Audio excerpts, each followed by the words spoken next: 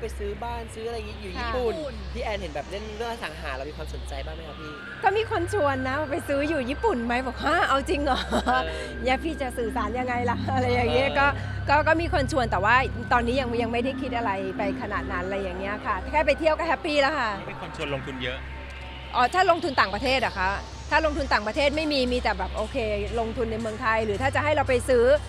มีบ้างที่อาจจะแบบเออชวนให้ไปซื้อที่ที่ญี่ปุ่น เพื่อที่จะแบบเอาไปปล่อยให้คนไทยด้วยกันแบบเช่าหรืออะไรอย่างเงี้ยก็ก็แค่แค่ชวนชวนๆมาแต่ก็ไม่ได้ยังไม่ได้จริงจังอะไรค่ะ มีเรื่องศึกษาบ้างไหมครับพี่แอนก็อาจจะฟังฟังๆไว้บ้างอะไรอย่างเงี้ยค่ะ ว่าเขาทำยังไงการทำแล้วแล้วเราต้องดูแลยังไงอะไรเงี้ยมีเป็นการฟังฟังๆไว้มากกว่าเนี่ยแสดงว่าคนที่ซื้อต้องเงินเหลือเยอะมากเลยนะเดี๋ยวพี่เคนพี่หน่อยอย่างเงี้ยครับก็พี่เคนเขารวยอะเขาเป็นเขาเป็นแรนด์ลอร์ดจริงๆเขา มีมาชวนเราไหมคะเขาไม่ได้ชวนนะคะอะไรอย่างเงี้ยเขาก็ซื้อแบบซื้อของซื้อที่เก่งอะไรอย่างเงี้ยค่ะ ก็ดีค่ะก็พี่แอนก็ยังไม่มีความคิดที่จะไปที่ญี่ปุ่นยังยังค่ะ มีแค่ไปเที่ยวแล้วก็มีอาจจะไปทำงานกับการท่องเที่ยวญี่ปุ่นบ้างอะไรอย่างเงี้ยค่ะ เดี๋ยวปีนี้ก็มีไปด้วยกันอีก ก็ก็อาจจะทำงานกับคนญี่ปุ่นมากขึ้นช่วงนี้ค่ะแต่ถ้าเกิดเมืองไทยนี่ลงทุนแน่น อืมละครอย่างเดียวก็หัวฟูแล้วไหมอะไรอย่างงี้ยั งไม่ได้มีที่ใหม่ใช่ไหมคะพี่แอนนอกจากแอนเทสมีแบบจะทำก็มีแอนเพลสแล้วก็มีทำละครทำรายการอะไรอย่างเงี้ยแล้วก็เล่นละครเอง เออก็มีแค่นี้ก็ก็เราก็ล่างพังแล้วอะหมายถึงว่าไม่มีเวลาไปทำอย่างอื่นแล้วอะค่ะ ละครที่กลับมาเล่นในรอบกี่ปีอะพี่แอนเดี๋ยวก็อย่างที่บอกเดี๋ยวปลายปีมีติดต่อมาอยู่เรื่องหนึ่งก็ถ้าเรียบร้อยดีก็ก็จะไปเริ่มตรงนั้น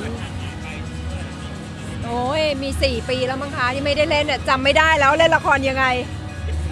เล่นยังไงเอ อเหมือนแต่ผสมนี่นะคะจำไม่ได้ เอาจริงๆมันก็ลืมนะเหมือนเราแบบ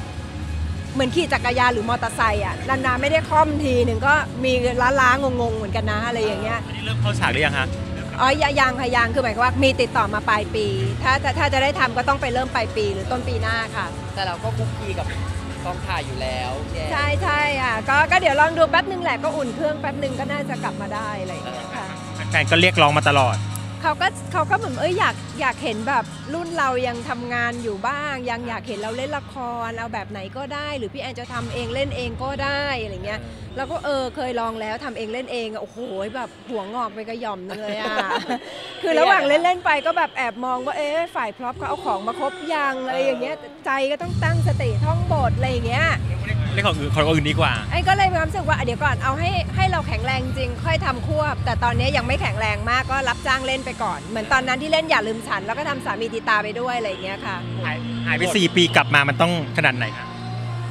มันต้องมันต้องอย่าให้เสียหน้า อย่าให้เสียหน้า อะไรอย่างเงี้ย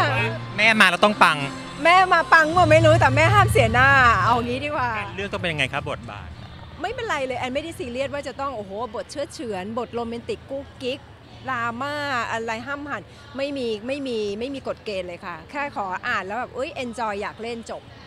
แอนเชื่อว่าถ้าเราเรามีความสุขที่จะเล่น เรามีความสุขกับการอ่านบทคนดูก็จะได้รับ energy นั้นเหมือนกันพระเอกล่ะคะพี่แอนในเรื่องนี้นี่มีรู้หรือยังคะหรือเปิดเผยได้ยังว่าเป็นใคร เดี๋ยวให้ช่องบอกดีกว่าค่ะ เดี๋ยวเดี๋ยวเอาให้ช่องพูดดีกว่าอะไรอย่างเงี้ยเพราะว่าแอนก็ไม่รู้ว่าเขาเปลี่ยนไปเปลี่ยนมานี่ได้ยินมาก็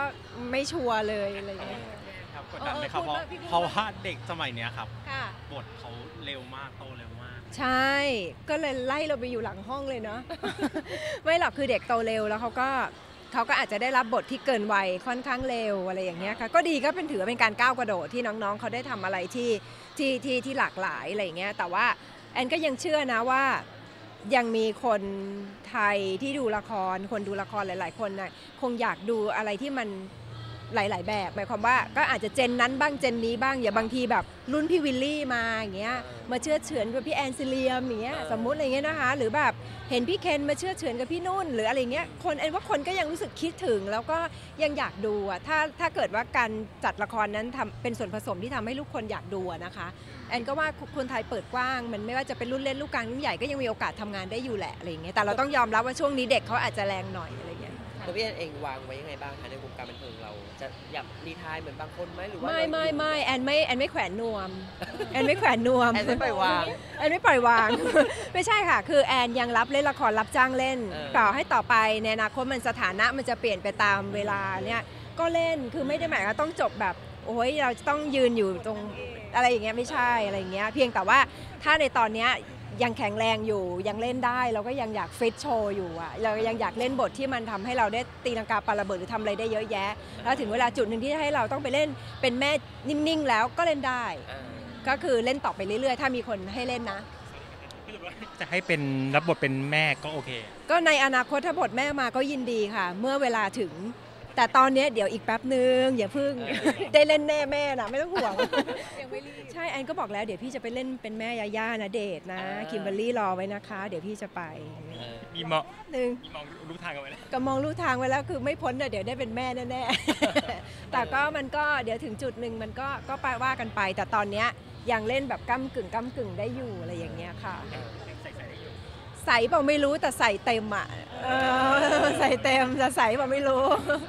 แอนถามถึงอะไรเงี้ยรูปหน่อยค่ะ ค่ะที่เป็นดับเบิลเดทของหมากคิมแล้วก็เราพี่เอตาไวเนาะค่ะสาลงลลงง แถวนั้นที่เห็นค่ะพี่เอ ใครเห็นใครลงก็ไม่รู้วันนั้นจำไม่ได้ Kimberly อ๋อคิมเบอร Kimberly รี่ลงเอง ก็คือเคยพูดกับนางไว้ว่าเดี๋ยววันเกิดจะเลี้ยงข้าว ให้เลือกร้าน นางก็เลือก นึกว่านางลืมไปแล้วนะ เพราะนางเกิดมาหลายเดือนแล้วอะแล้วนางก็อยู่ๆก็พี่แอนหนูอยากกินโอมากาเสะ แอนก็อะโอเคได้ได้เดี๋ยวเราจะเอาใครไปบ้างแล้วเราจะชวนพี่หมากไป แล้วก็เลยอะโอเคก็ก็เลี้ยงข้าวหมากไปด้วยกัน เออ ก็กลายเป็นว่าก็ไปนั่งแบบคุยกันอะไม่ได้เจอกัน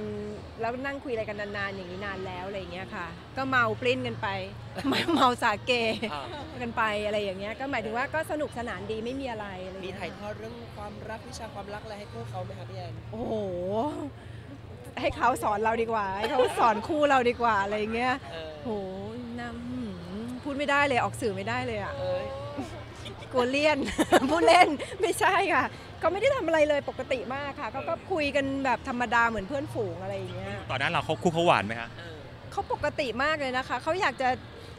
จิกกัดกันหรือพูดดีๆใส่กันมันได้มันมีทุกโหมดอะแล้วแอนก็ทำเป็นไม่ได้ยินอะไรไปบ้างอะไรอย่างเงี้ยค่ะ ก็ก็ให้ทำเป็นเหมือนมองไม่เห็นไปอะไรแล้วคู่เงี้ยเราเอาอะไรเข้าสู้คะพี่แอนวันนั้น ไม่มีนั่งฟังอย่างเดียว อ๋อ นั่งฟังอย่างเดียว นิ่งๆแล้ว นิ่งๆ ก็นอฟังน้องพูดไปอะไรอย่างเงี้ย แต่ก็ดีค่ะนานๆ เรามากินกับเด็กวัยรุ่นเนาะค่ะก็มีเรื่องอะไรเพอเจอเพอเจอมาเล่าให้ฟังก็สนุกดีอะไรอย่างเงี้ยค่ะ เออ ก็ก็นานๆทีอะไรอย่างเงี้ยค่ะ ค่ะ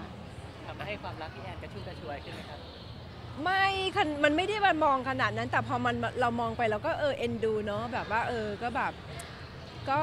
ก็รู้สึกว่าเออเขาก็เดินกันมาไกลแล้วเนาะแล้วแป๊บๆเราเพิ่งเห็นเขาเล่นละครด้วยกันเมื่อไม่นานแล้วมามาตอนนี้ก็อืมนี่คบกันขนาดนี้มารอดขนาดนี้ได้เออเก่งเนาะอะไรเงี้ยก็จะแซวเล่นเพราะเห็นเขาชอบตีกันบ่อยเชียร์เขาไหมว่าแบบว่าจะได้มีข่าวดีกัน ๆอ๋อไม่ไม่ได้เชียร์หรอกค่ะ แอนก็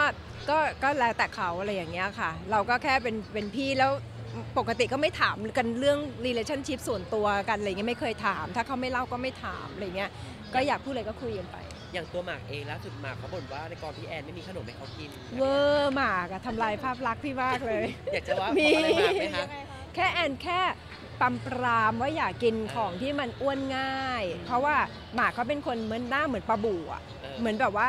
อ้วน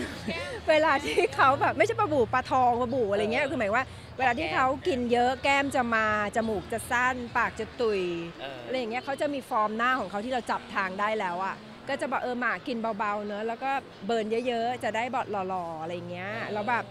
character อย่างหมากคือมันแบบสาวๆ ชอบอะมีความ bad boy อยู่ข้างในอะไรเงี้ยเพราะตัวเองทำหุ่นให้ดี มันก็ขยี้ใจคนดูเนาะเออก็คือดีมันก็ดีกับตัวเขาเราก็เราก็ให้กำลังใจเขาอะแต่เด็กบางทีเขาเหนื่อยอะเขาก็อยากกินนะคะอืมก็ให้เขากินไปไม่ได้ว่าอะไร แต่พี่แอนรับทราบใช่ไหมคะว่าหมากแบบซื้อขนมไปแอนเห็นกระตาเลยก็ซื้อไปจีนก็ไปซื้อของจีนมาเต็มถุงเลยขนมจีนอะไรอย่างเงี้ยก็ก็เห็นอยู่เออ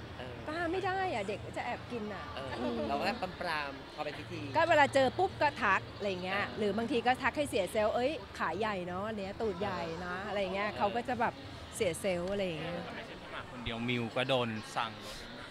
มิวอะโดนโดนก่อนที่จะเปิดกล้องอีก เพราะช่วงนั้นมิวอ้วนมากอะไรเงี้ย แล้วก็มีนักข่าวไปถ่ายรูปมิวตอนเห็นหน้าท้องเบาๆแอนก็เลยรีบส่งไปกดดันว่าเห็นไหมเนี่ยนักข่าวเขายังเห็นเลยอะไรเงี้ยแล้วหลังจากนั้นน้องก็ผอมให้แอนเลยค่ะมิวนี่เสถียรแล้วค่ะเหลือแต่หมากเนี่ยยังต้องลุ้นกันเป็นอาทิตย์อาทิตย์ไป มิวผอมสวยแล้วค่ะแต่เออแต่หมากเขาบอกว่าเขาจะใช้การแสดงเข้าสู้กับพี่แอน มันไม่พอจะมาสำหรับพี่เออค่ะต้องรูปร่างด้วยพี่ชอบรูปร่างนักแสดงดีเออๆตอนณเดชน์ก็จับถอดเสื้อผ้ามากมายไก่กองเออคือเราไม่ชอบส่วนตัวด้วยค่ะ หมายถึงว่า ชอบดูว่ามันสวยดีอะไรเงี้ย ก็เลยอยากให้แบบพระเอกเราแบบหล่อๆดีๆอะไรเงี้ย เป็นแค่น้ำจิ้ม โอเค ขอบคุณค่ะติดตามข่าวบันเทิง พี่นายตะเทนแชนแนลอย่าลืมกดสับตะไคร้กันด้วยนะ